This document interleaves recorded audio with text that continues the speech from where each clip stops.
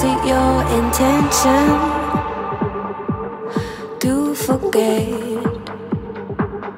Was this your intention